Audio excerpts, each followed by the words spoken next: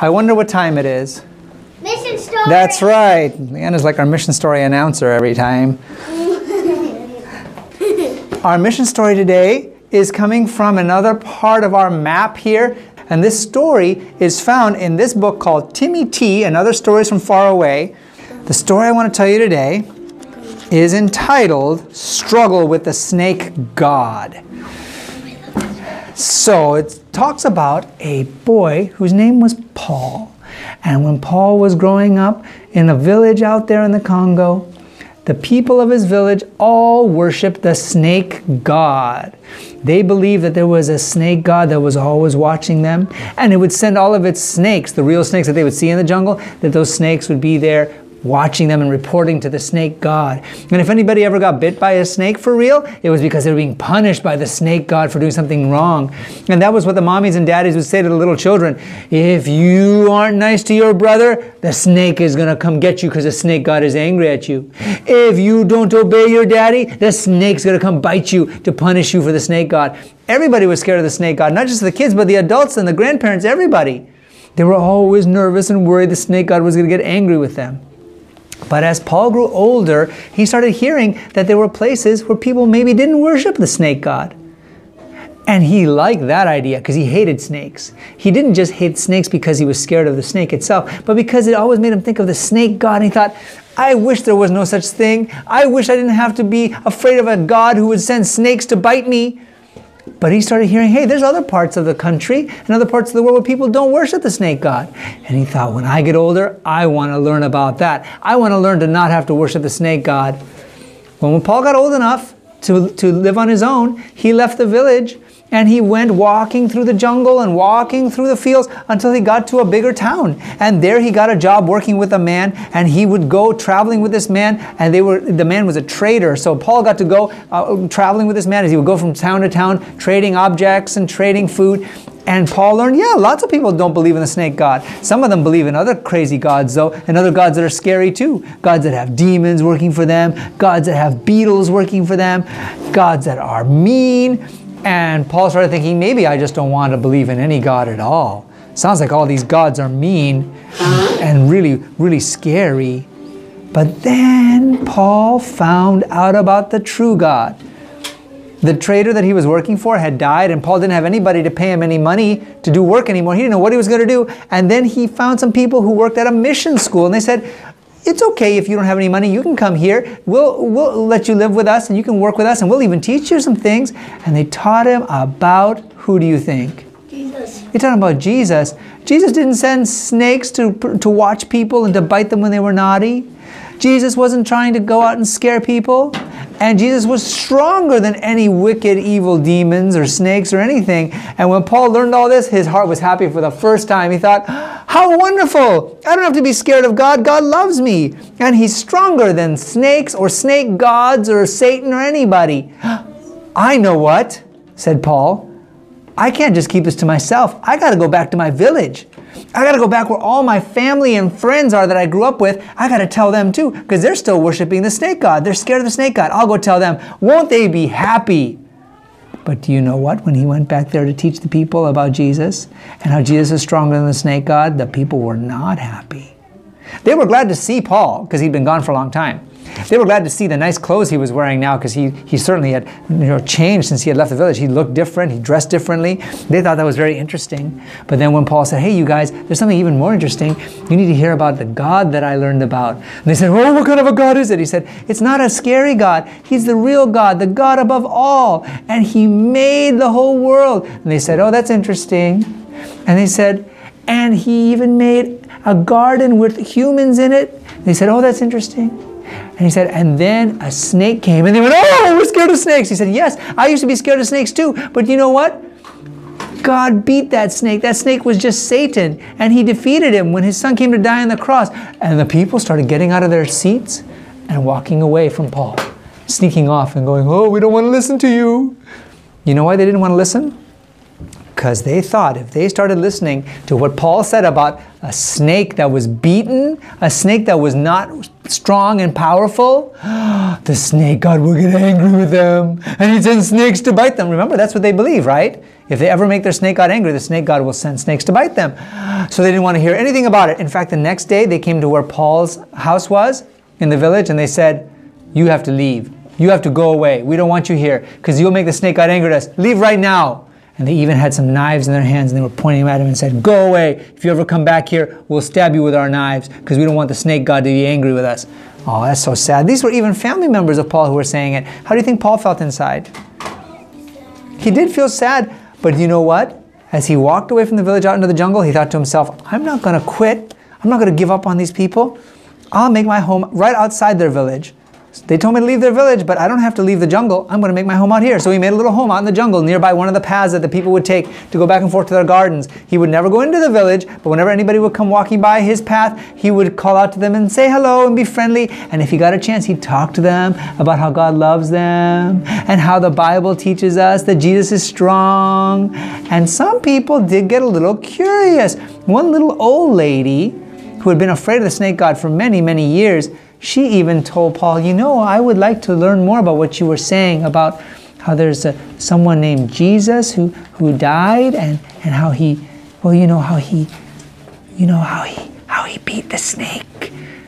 And Paul said, Sure, come on. We can have a meeting sometime in my hut.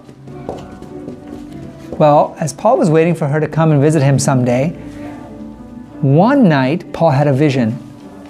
He didn't know it at, the time. He thought it was a real thing at first. He was in his hut sitting there as the evening was coming out, and he noticed a bright light shining outside his hut. He'd never seen a bright light at night other than a torch, but it didn't look like a torch, like, a, like fire. It was really, really bright. They had no electricity, no electric lights or flashlights or anything. He didn't understand where this could be coming from. He came outside, he looked around, and I want to tell you exactly what it says in the book.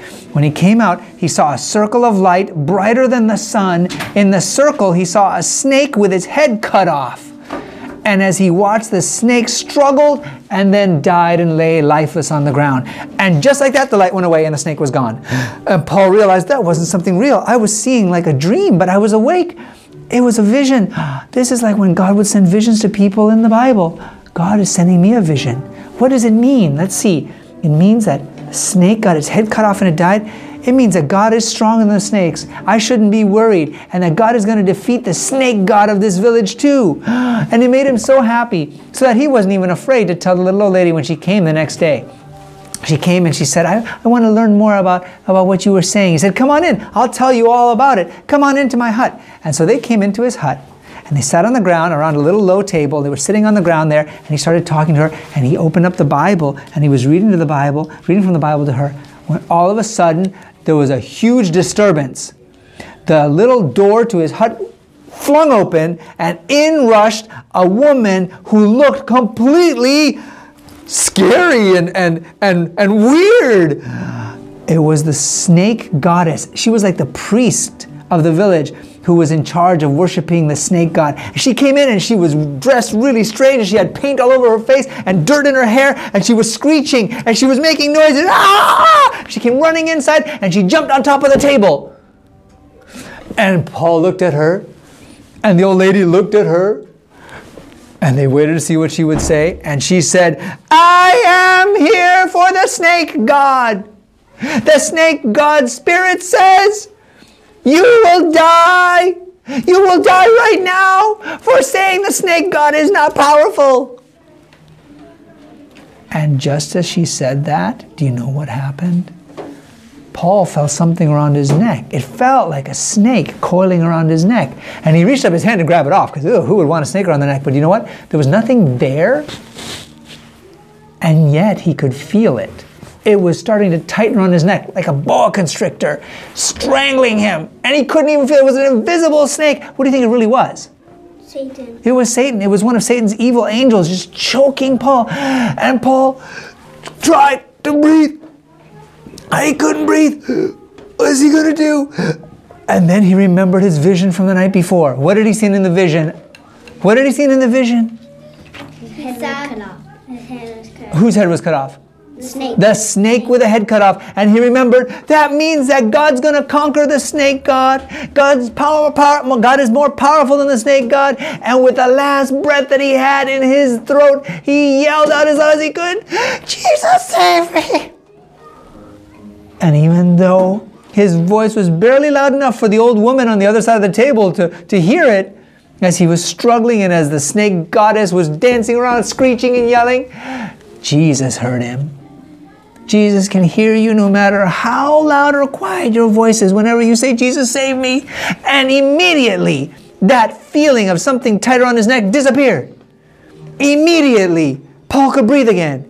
And immediately, the priest god, the snake goddess that was on the table, fell over unconscious. He fell right on the ground. And Paul looked with his eyes wide open. The little old lady looked with her eyes wide open. And after a few seconds, the snake goddess lady woke up and she said, Where am I? What's going on? Who is this? And she ran out of the door. And the little old lady ran out the door the little old lady ran out the door and went back to the village and she told everyone she met, You won't believe what just happened.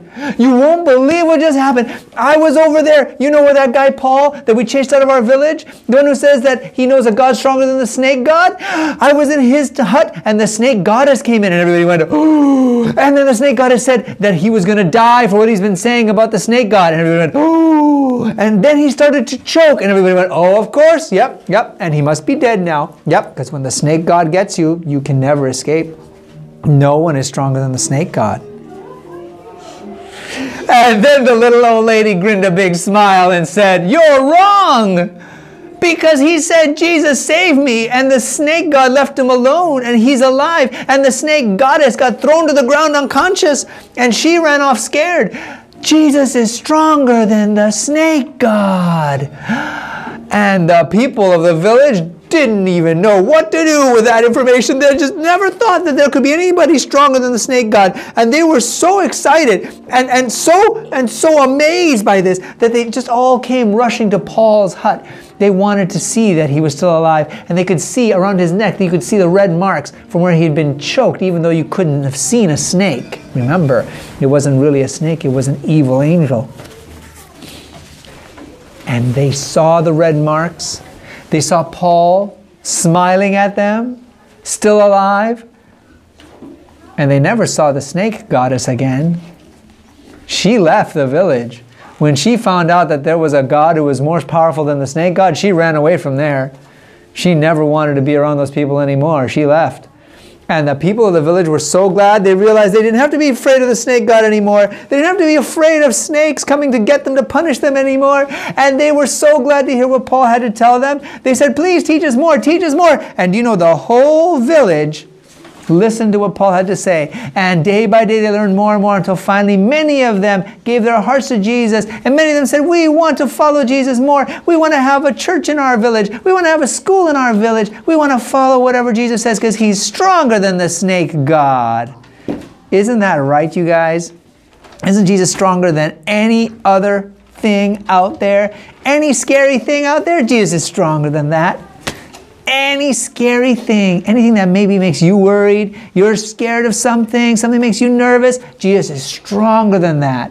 And if you're ever in a situation where you're feeling like, oh, I don't know what to do, I don't know what's going to get me out of this problem, the only thing you need to say is, Jesus, save me.